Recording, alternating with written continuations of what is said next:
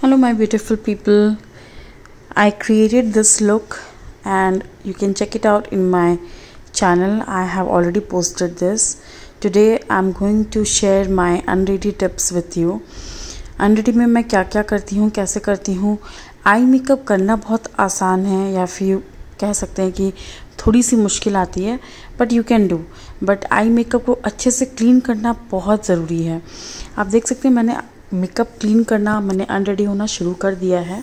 सबसे पहले मैंने बाल बाँध लिया। अपने चेहरे को बायो ऑयल से मैंने यू नो क्लीन किया है मेकअप को। देन वेट वाइप से अपने चेहरे को पूरा क्लीन कर लिया है। अब मैं अपने आईज़ को क्लीन कर रही हूँ।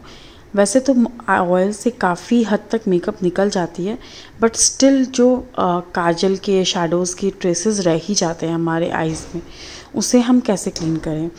माइसिलर वाटर में एक जो ईयर ड्रॉ ईयर प्लकर्स होते हैं या फिर आप कह सकते हैं क्यूपिक होते हैं, उसे लेकर डिप कर ले देन उसे धीरे धीरे अपने आईज़ के चारों तरफ़ क्लीन करें, जिस तरह से मैं क्लीन कर रही हूँ। इससे आपका आईज़ पूरी अच्छी तरह से क्लीन हो जाएगा रेसिड्यू नहीं रहेंगे काजल के। नहीं तो क्या होगा कि जब आप next day you know apply करोगे मेकअप या फिर आप छोड़ दोगे ऐसे ही तो उससे आपका चेहरा काफ़ी यू नो डल लगेगा स्पेशली आपके डार्क सर्कल्स ज़्यादा दिखेंगे। अब मैं फेस को वॉश करूँगी फेस वॉश से, मैंने चेंज कर लिया है। ये नोवेज का फेस वॉश है ओरी फ्लेम का। इसी से मैं अपना चेहरा क्लीन करूँगी। ओके यू कैन सी मैंने वॉश कर लिया है चेहरा। अब मैं चेहरा वॉश करके टॉवल से खाली टैप ड्राई कर रही हूँ। Now this is Pond's face mask which I bought it from Nykaa recently and I have use this तो मैंने सोचा आप लोग के साथ ही इसे यूज़ करती हूँ, आज स्किन केयर के साथ ही करती हूँ। तो मेकअप रिमूव करने के बाद स्किन केयर करना भी बहुत ज़रूरी है, क्योंकि मेकअप में बहुत सारे ऐसे केमिकल्स होते हैं जो हमारे फेस के लिए स्किन के लिए अच्छे नहीं हैं।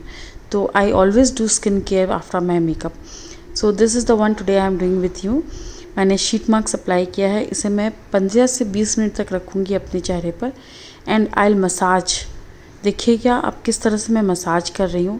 बिकॉज़ इसकी जो सिरम्स है, जब तक वो आपके स्किन के अंदर पेनिट्रेट नहीं करेंगे, उसका कोई फ़ायदा नहीं होगा आपको।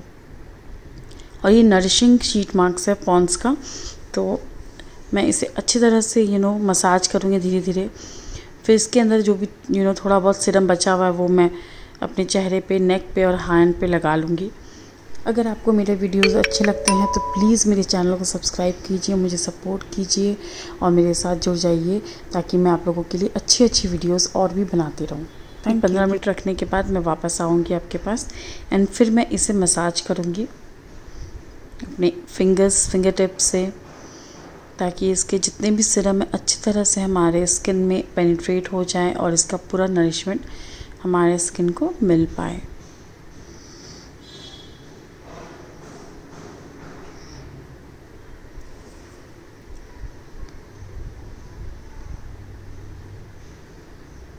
मैंने अच्छी तरह से कर लिया है। Now I remove the mask और मैं अपने हाथ से अब धीरे धीरे सर्कुलर मोशन में अपवर्ड स्ट्रोक देते हुए अपने पूरे फेस में इस जो सिरम बचा हुआ है मेरे फेस पे, उससे मसाज कर लूँगी।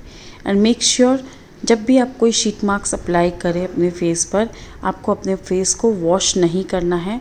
इसे एज इट इज़ छोड़ दें। इसका मॉइस्चर ताकि आपके पूरे अच्छे से स्किन में पेनिट्रेट कर सकें। You can see the difference tata bye bye